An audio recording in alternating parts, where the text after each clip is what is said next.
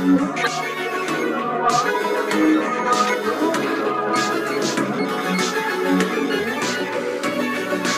you.